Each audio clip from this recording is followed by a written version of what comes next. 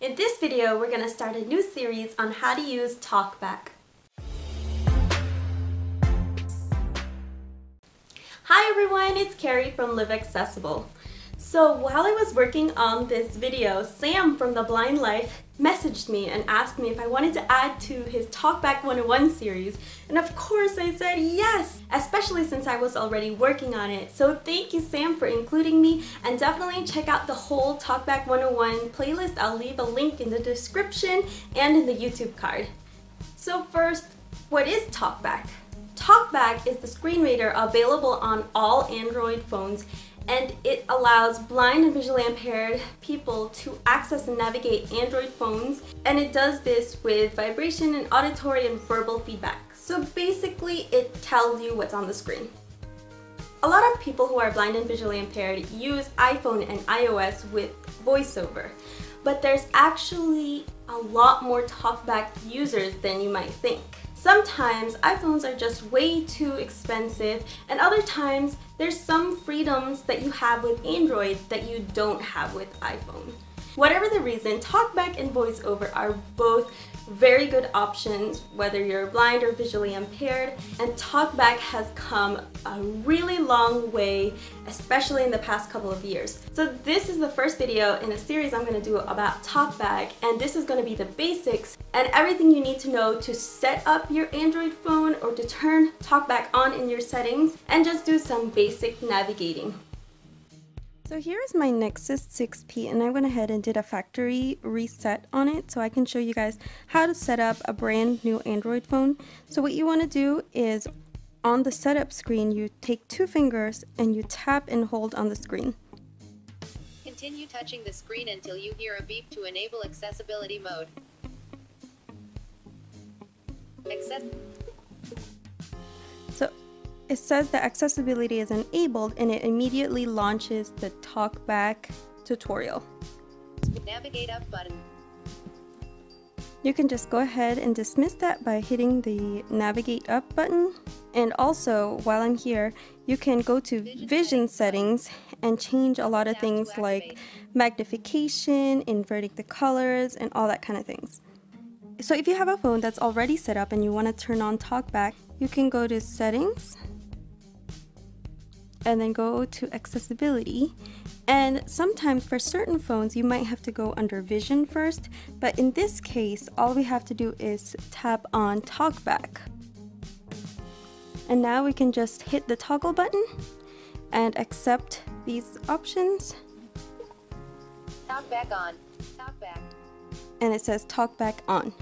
Now to do this in an easier way, you can go to accessibility shortcut Volume key shortcut talkback. So in this phone is the volume button. For certain phones, especially with a home button, you can triple tap the button, but when there is no home button, it's usually holding the volume up and down buttons simultaneously. So let's go ahead. Help and feedback on switch. Shortcut so first you have to turn it on. Allow from lock screen off switch. And I like to allow it from lock screen. I already have the shortcut on, but shortcut service you can choose what service you want. So select to speak, switch access, control device. On this phone, it's only a couple different options, but with the new Android updates and on my Pixel 2 XL, there's magnification and you can also invert the colors and a lot of other things. But I like to have it on TalkBack. So once you have the accessibility shortcut enabled, all you have to do is press the uh, volume up and volume down buttons together and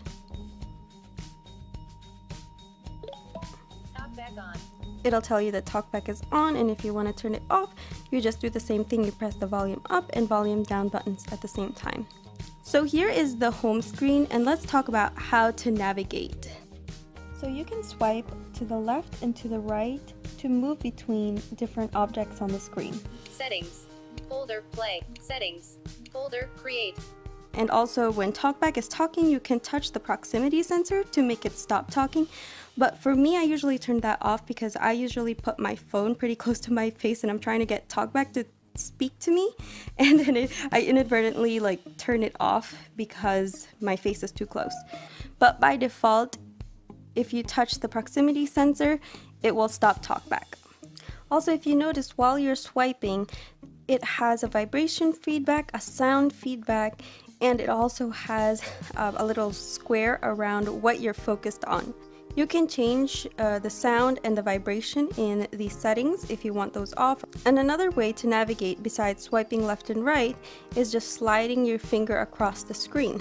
Folder, folder, settings, folder, play, Google search, Google, Google search, Google. And it will read whatever's under your finger at the moment. Sometimes when you are swiping left and right, say you start Messages, near the bottom action, and you swipe to the right, camera, it'll make a sound and that will say that you're at the end of the screen. And if you swipe again, Google, it will take you back to the top of the screen. Swiping left and right does not take you to the navigation bar, which is right at the top with the time and the battery um, percentage. It also doesn't take you to the navigation bar at the bottom, like the home and the back and the recent apps. For the navigation bar, you're just gonna have to put your finger on there, but for the navigation row, there are some gestures which we will go over in the next video of special talkback gestures to handle those of the back and the home and the recent apps. So here I am in the settings and if you're at the bottom of the list, at least what's on the screen, if you swipe to the right, volume, storage 13%, it will automatically scroll for you. And it will also give you some audio feedback of how far you are in the list. The higher the pitch, the further down you are in the list. So back on the home screen, if you find what you're looking for and you want to activate that item, all you have to do is double tap. So let's go. live accessible, And- actions, remove, move So let me go ahead and double tap on this. progress bar pro, live accessible, So here we are on the website and I wanted to show you how to navigate in different ways. So right now we're at the top of the screen and if we swipe down, it'll say links, controls, controls. characters, words, So if I wanted to navigate by word, I can just swipe now. accessible.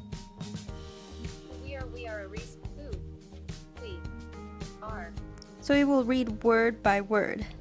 If you swipe down again and it says lines, if you navigate left and right, now it's going to travel by lines. And so that, that's the same thing with headings, with paragraphs, words, or characters. So right now, TalkBack only recognizes a single finger gestures. So if you use two finger, it kind of bypasses TalkBack and goes directly to the phone as if you're using one finger. So for instance, without TalkBack, if you swipe up and down on a web page or on a list, you can scroll through that list. With TalkBack, you can use two fingers and do the same thing. So you can scroll down and then you can scroll up. This also works when swiping between different screens or different home screens. So if I swipe with two fingers toward the left, it'll take us to the next home screen as if without TalkBack, it would just be a single finger swipe back and forth.